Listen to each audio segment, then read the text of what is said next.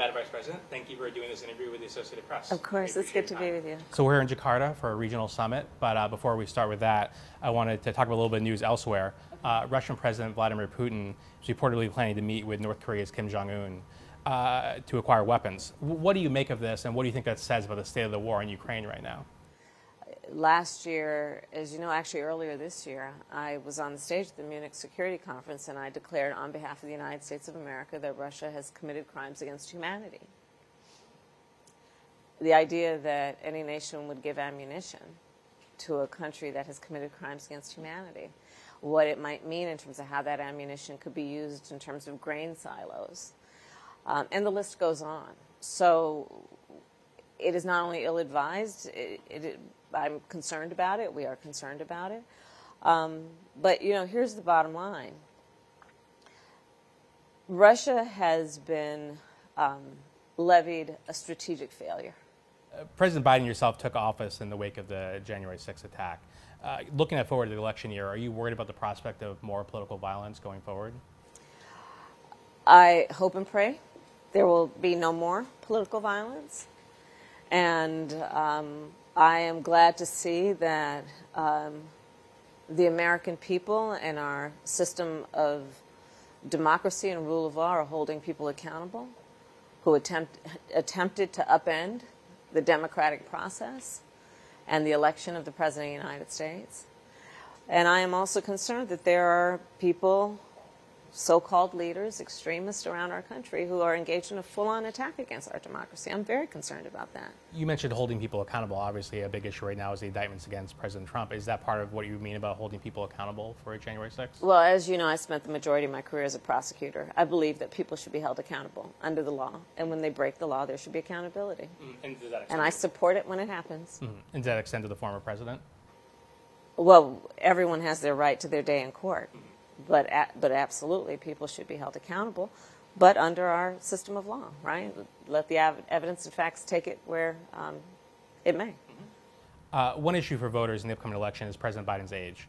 An AP poll recently showed that 77% of Americans and 69% of Democrats uh, believe he's too old for a second term. Uh, do you think he's ready to serve as president until he's 86? And somebody who works with him, you know, have you seen changes in recent years? First of all, let me say that our president has been an extraordinary leader who has accomplished things that previous presidents hoped and dreamed and promised they would do and did not achieve. So, yes, I see him every day. A substantial amount of time we spend together is in the Oval Office where I see how his ability to understand issues and weave through complex issues in a way that no one else can to make smart and important decisions on behalf of the American people have played out. And so I will say to you that I think the American people ultimately want to know that their president delivers and Joe Biden delivers. Uh, questions about the president's age often go hand in hand with questions about how you would step into the role, you know, if necessary. Do you feel prepared for that possibility? Uh, and serving as vice president, prepared you for, for that job? Yes. And wh- how would you, you know, describe the, that, that process? Which like as far as you know, being ready for that. Uh, for that. Well, first of all, let's. I'm answering your hypothetical, um, but Joe Biden's going to be fine, so that is not going to come to fruition. But let us also understand that every vice president, every vice president, understands that when they take the oath, that they must be very clear about the responsibility they may have to take over the job of being president. I am no different. Uh, let's talk about the reason why we're here in Jakarta for the summit of the uh, Association of Southeast Asian Nations. Uh, this is your third trip to Southeast Asia. Uh, why is this region so critical to U.S. interests and kind of the future of U.S. foreign policy in the Indo-Pacific? I feel very strongly about um, the importance, as a general matter, of engaging in U.S. policy as it relates to foreign affairs in a way that we pay attention, of course, to the immediate concerns and threats if they exist, but that we also pay attention to 10, 20, 30 years down the line and what we are developing now that will be to the benefit of our country then. When I think about Southeast Asia and this region in the Indo Pacific. First of all, Southeast Asia, you're looking at a population of over 600 million people, at least two thirds of which are under the age of 35.